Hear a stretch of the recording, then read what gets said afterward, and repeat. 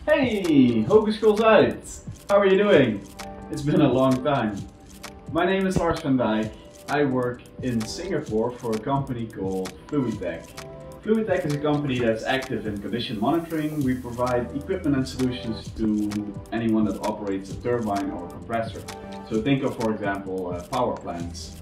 Our uh, solutions actually help, for example, power plants to be more efficient, uh, reduce their CO2 output, but more importantly, diminish their industrial waste.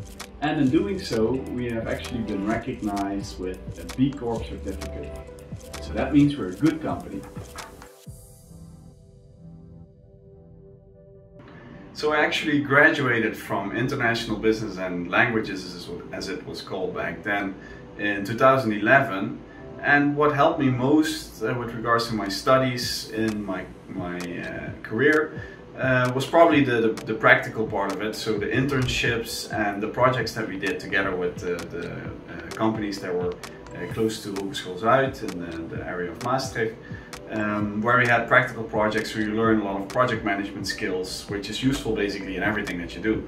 Also financial management I found very, uh, very useful in the projects that I did in the corporate world um, but also definitely intercultural uh, dynamics and uh, getting to know a little bit about other cultures, but also languages and especially a good comprehension in both speaking and writing of the English language helps you basically in everything you do. So if that's writing an email or if you need to write a report or if, if you have to convince somebody in a sales conversation or even just in a meeting, this part will always help you. And I think I got a very good basis there uh, from my IBL studies.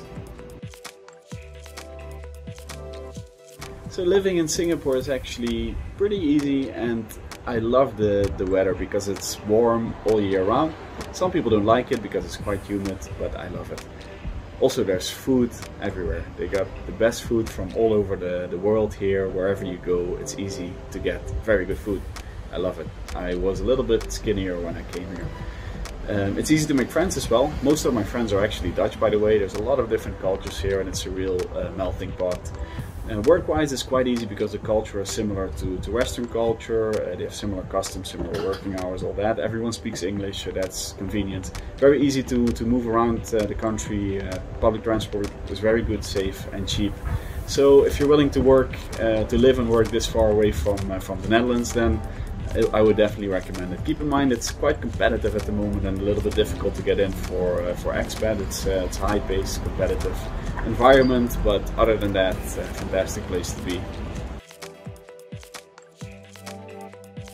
To me, having a global mindset means that you consider yourself a citizen of the world and uh, that you're open to exposing yourself to, to new cultures. And one of the most striking things from uh, from my life and career was that I found out that many different cultures have very similar core values and people, whether they are from Indonesia or the Middle East or the US, they all want uh, similar things in life um, and that makes us actually all part of a global uh, human family.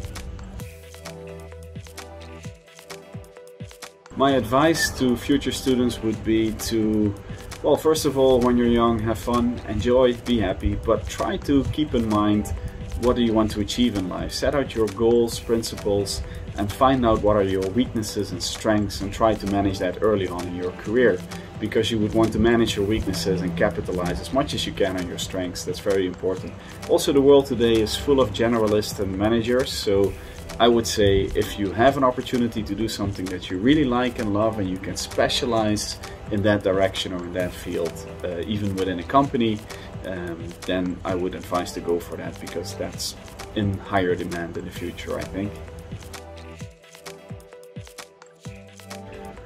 Hogeschool Zuyd, I wish you a very happy birthday or Shengri Kuaile, as they say in Chinese.